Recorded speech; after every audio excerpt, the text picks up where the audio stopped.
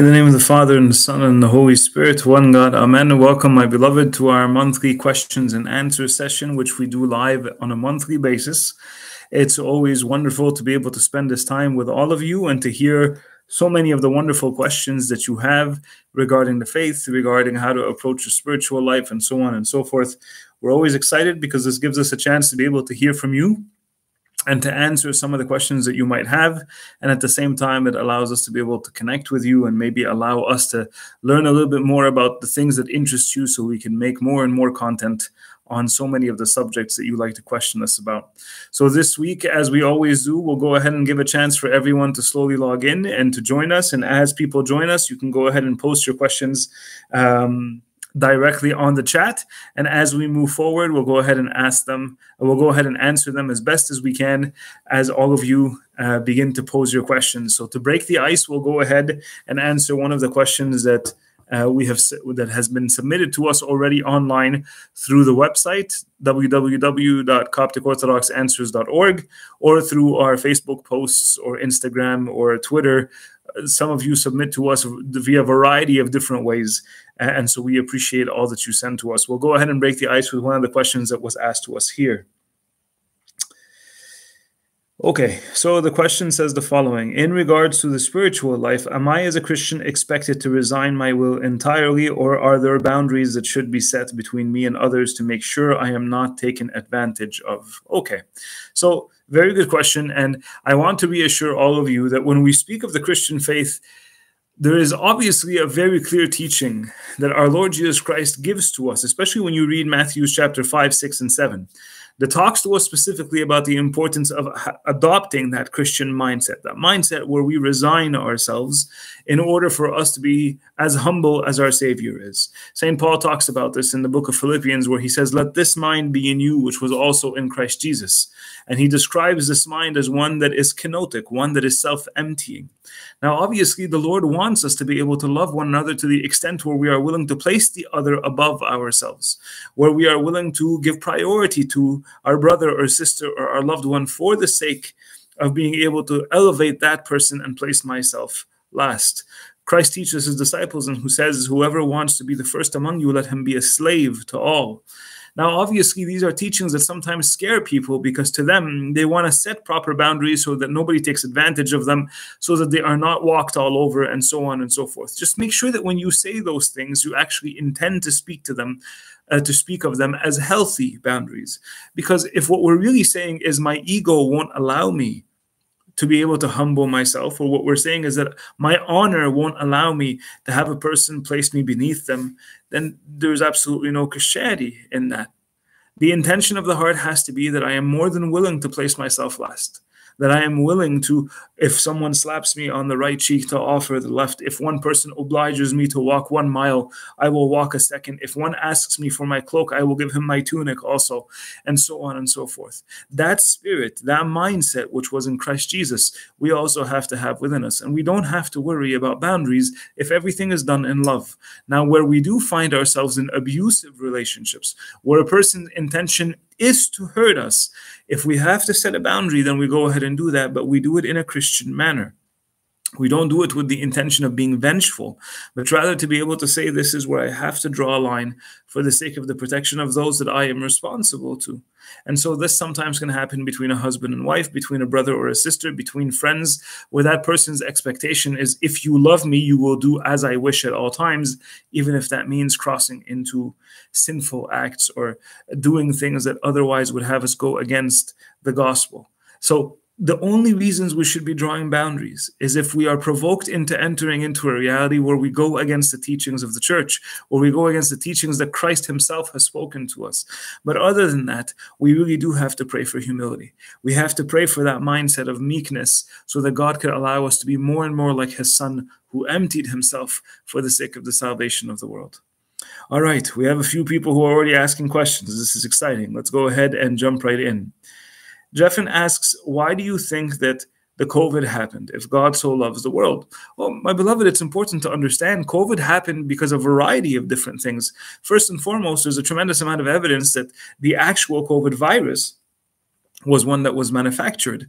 Now, what was the reasons behind its manufacturing and why was a lab trying to create this kind of virus?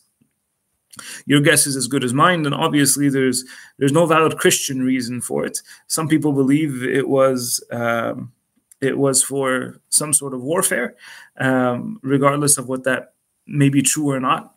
It's not the discussion that we're going to have today. But one thing is for sure, we have to recognize that God allows humanity to be fully free and a big part of the problem in humanity being free is that we have the option of doing great things in Christ Jesus, or we have the option of being absolutely disastrous as far as a generation. We can be the cause of so much havoc and so much pain and so much suffering, and we can also do incredible things through the gift that God has given us when He created us in His image and likeness.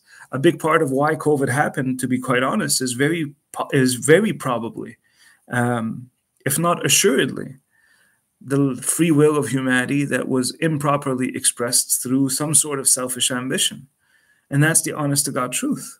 A big part of why it wasn't managed properly is yet again because politics get involved, because power gets involved, because people capitalize on the possibility of making money off of other people's sufferings or their pursuit of healing.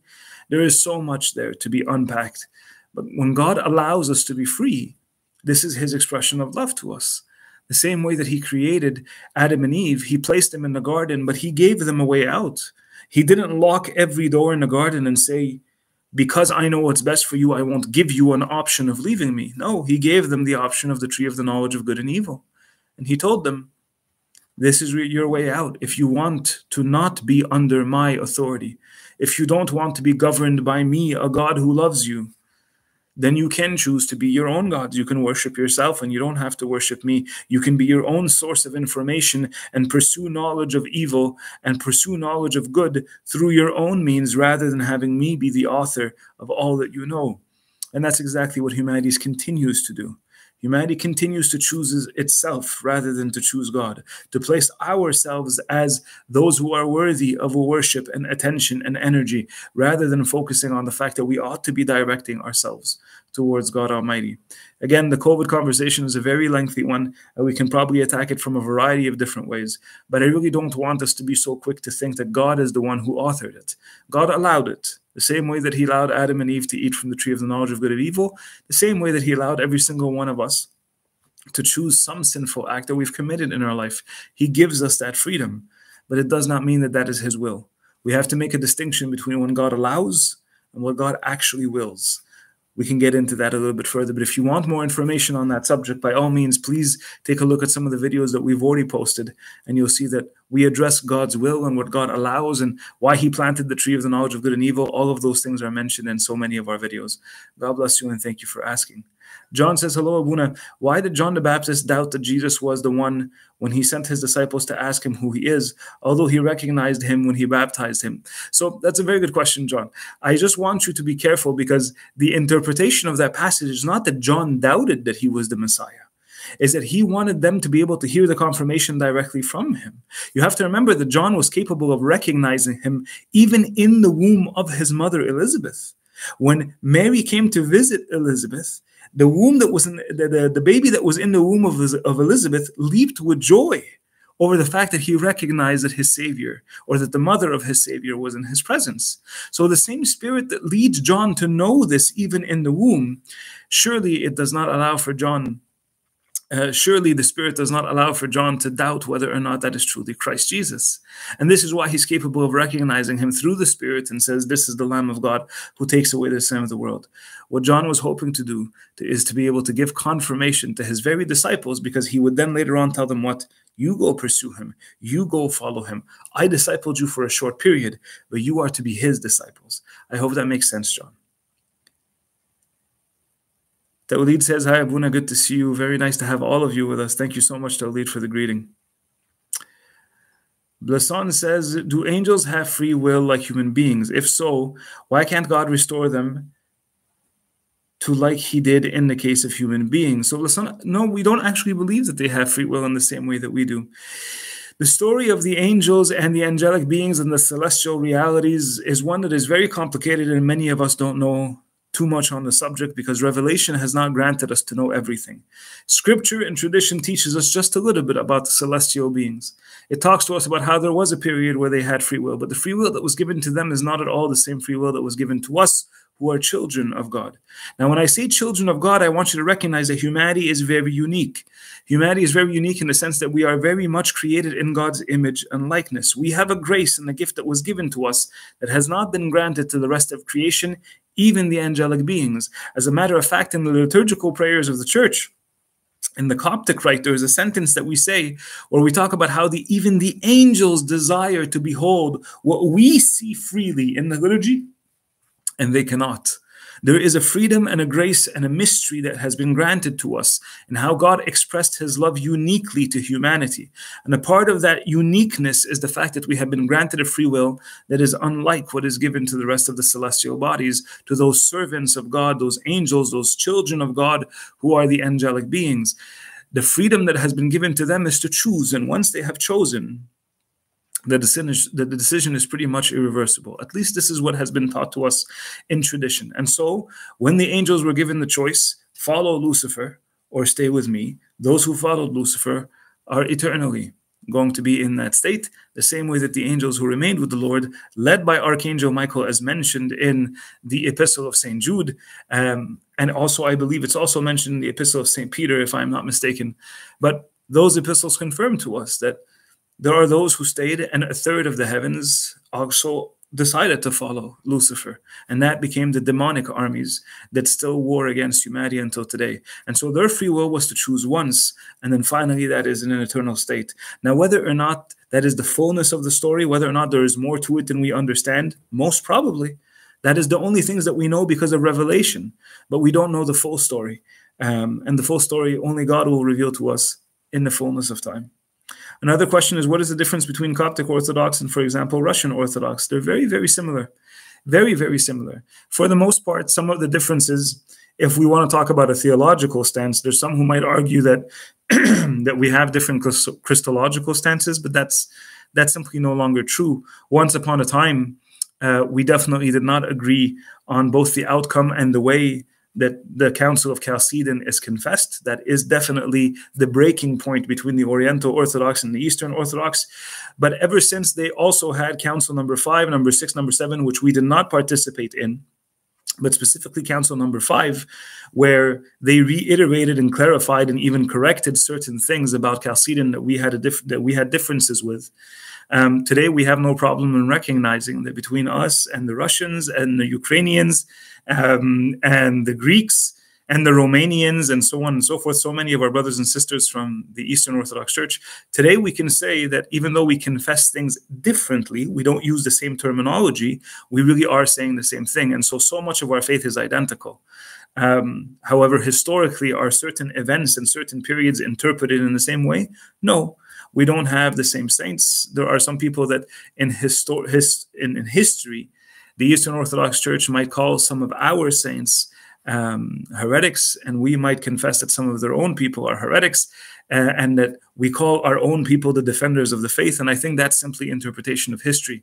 But for the most part, as far as our theology goes, I would like to say that it's 99% the same, if not even 100. Um, and this is why I think there is a beautiful communion of love that exists between all of the Orthodox churches. Now, there are people on in every family that are on both extremes.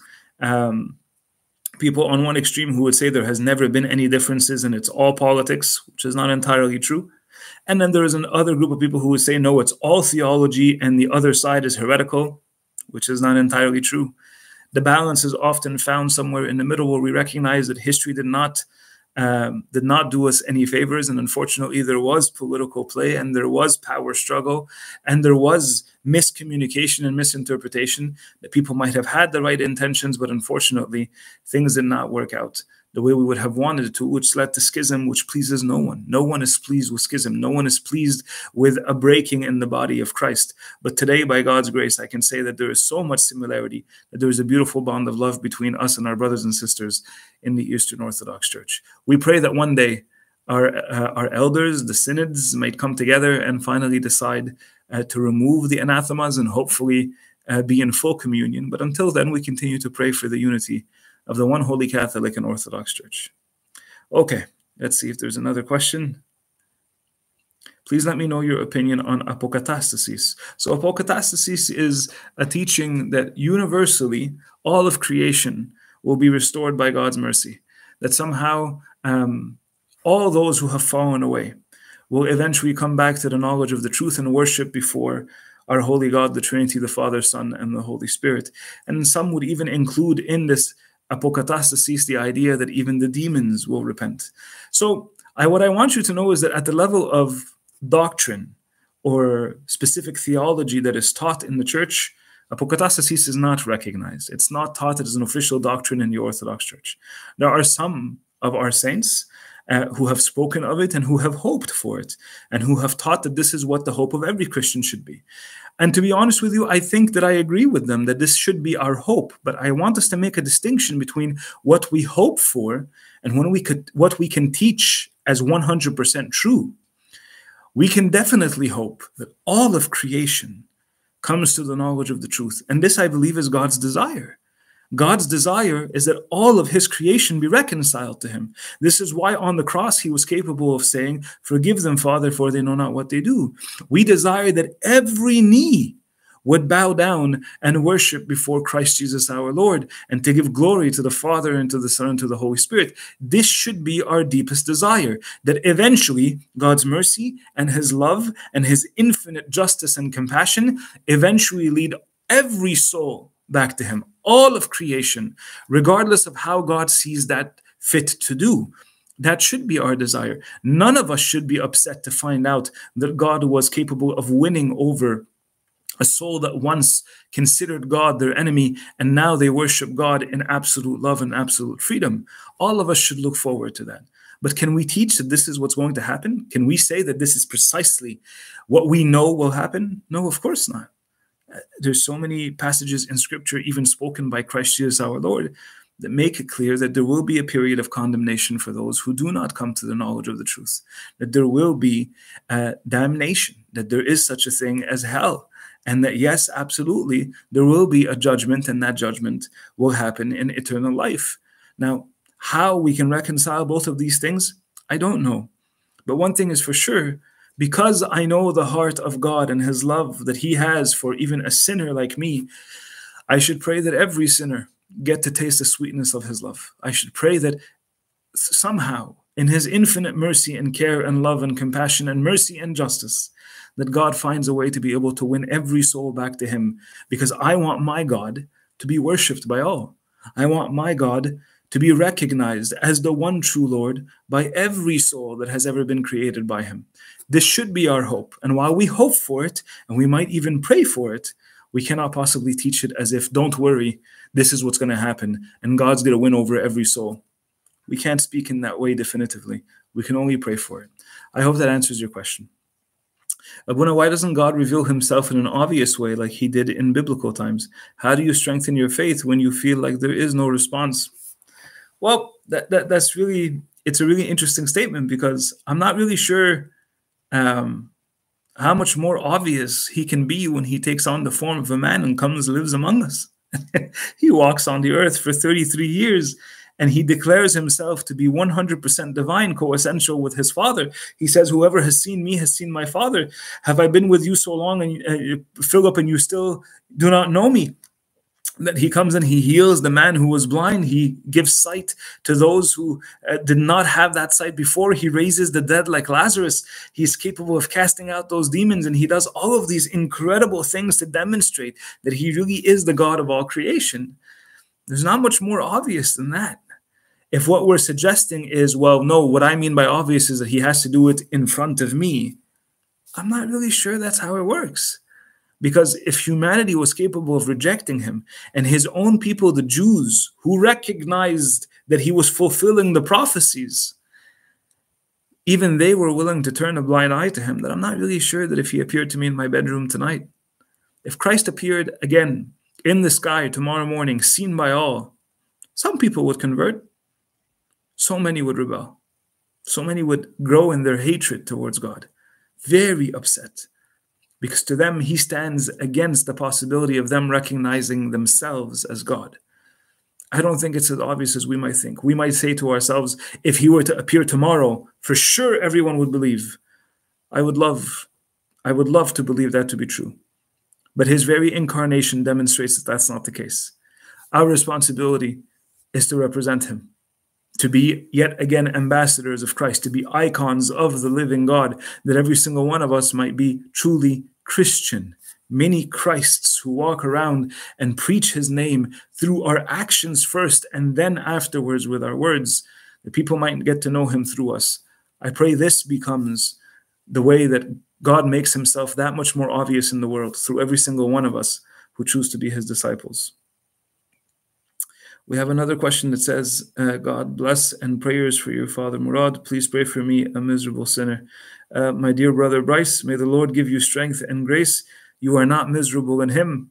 In him you are more than conquerors, and in him you are victorious. May the Lord grant you all of the victory and all of the grace in knowing that you are precious in his sight. How do we go about approaching the biblical canon? I love the, the Oriental Orthodox Communion, but I feel convicted to pursue the Ethiopian rite since it has the most books.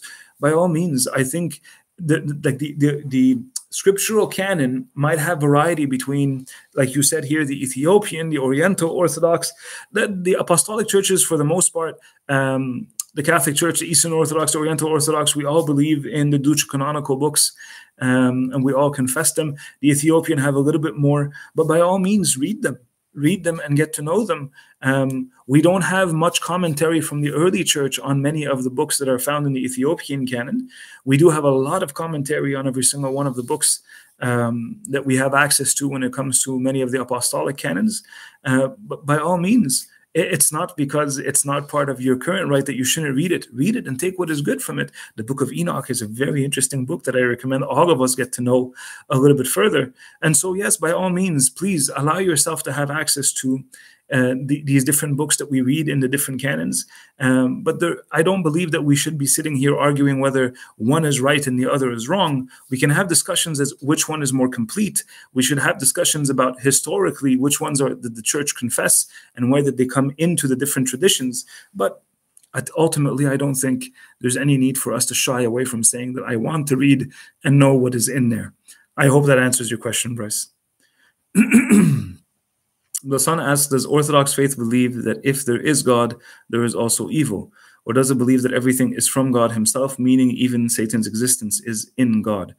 All that exists finds its existence in God. So, according to the Orthodox Church and the Orthodox belief, there is only one creator, there is only one origin, and that is God. He is the one who is uncreated. Everything else is created. So, we definitely don't believe in dualism the dualism, this idea of that there is two gods, there is the Trinity and there is the devil. The devil is not a god, the devil is a creature.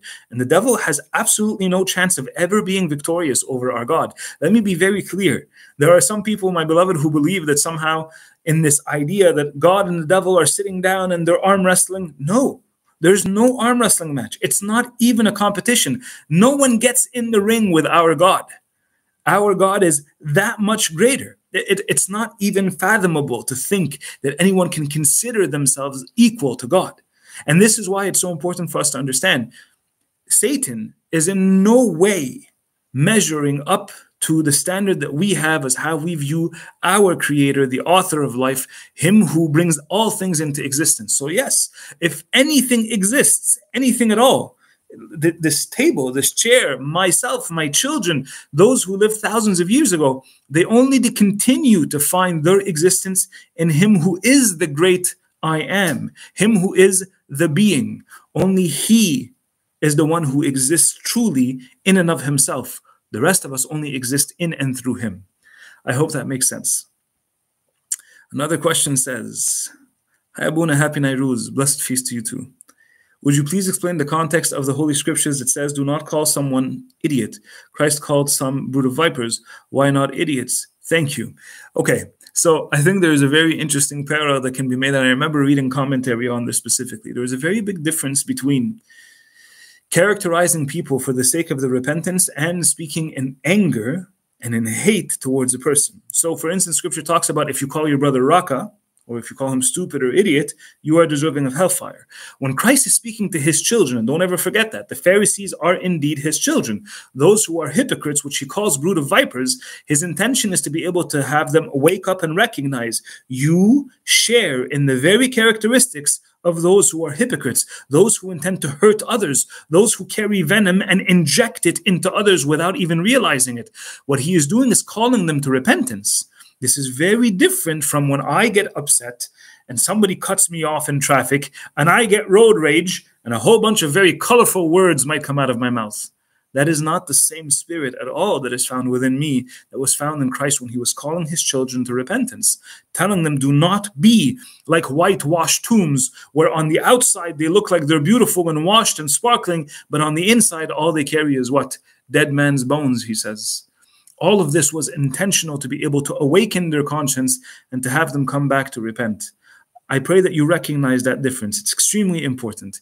When Christ speaks with that tone, where he expresses holy anger towards evil, it's very different from when, unfortunately, my anger is much more a tool of evil than it is an anger towards evil.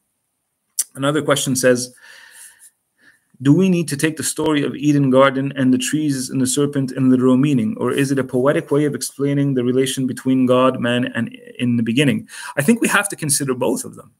I don't think you can afford to choose one or the other. We have to know that Eden really existed. We have to know that Adam and Eve are really indeed people.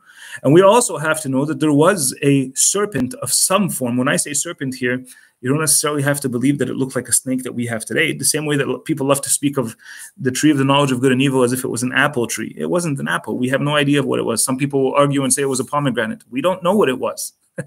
we have no idea what it was, and we don't care to literally know. What we do know for sure is that Adam and Eve are real, and they really did live in the presence of God. And there really was a source of evil that convinced them to follow their own path rather than God. And so you have to be able to see the fact that it is very real while not necessarily limiting yourself to it being literal.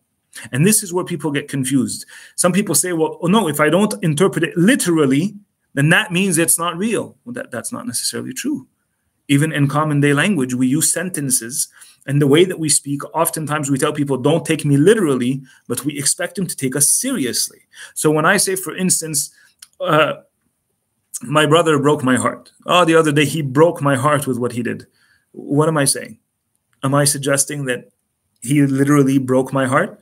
That he stuck his fist into my chest and he pulled out my heart and he broke my heart into pieces? Of course not. None of you would understand it in that way. I don't expect you to take it literally. But I am describing something to you that is very real. I am using that metaphoric language with the intention of pointing to something that is very real, that has to be taken seriously, and that is something that is very true. And it doesn't have to be literal in order for you to understand it. So again, with the Garden of Eden, we have to know that things that that, that what that story is one that carries to us so many things that are 100% real, and they cannot be spoken of simply as myth, as if they were fake, as if they were just stories that we tell children. No, they are very much real.